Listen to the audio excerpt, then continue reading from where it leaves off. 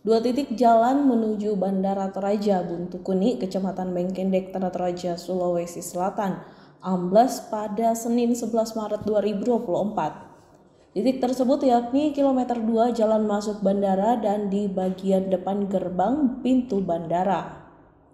Amblasnya jalan diduga akibat kerusakan yang sudah terabaikan cukup lama. Hal itu diperparah dengan curah hujan tinggi yang mengguyur wilayah Tanah Toraja sepekan terakhir. Personil Polsek Menkendek bersama satuan lalu lintas dan petugas bandara kemudian memasang garis polisi di lokasi jalan yang amblas. Kapolsek Menkendek itu ada Rias Tonapa mengatakan hal itu guna mencegah terjadinya kecelakaan.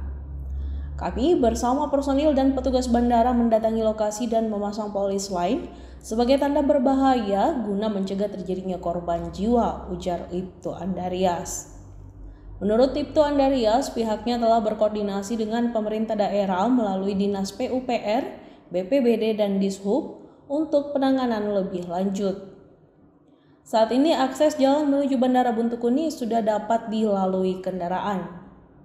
Namun pihak dari pihak kepolisian menghimbau kepada warga untuk tetap berhati-hati saat melintas guna mencegah kecelakaan. Tutup Ibtu Andarias.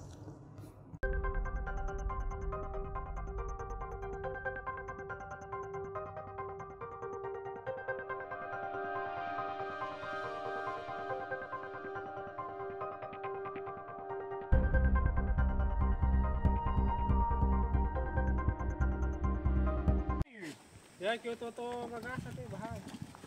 Wah, Mamaya na tama. Mel, ayun din, berarti yung patas tarang yola eh. Parang yung tama na dalam sekali.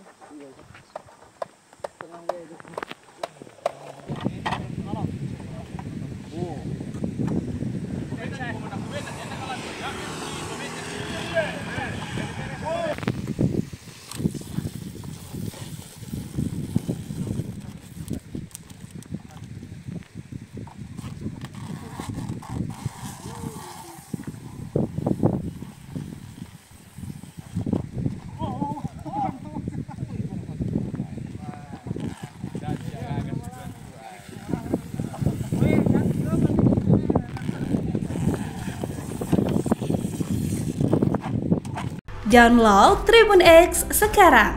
Menghadirkan lokal menjadi Indonesia.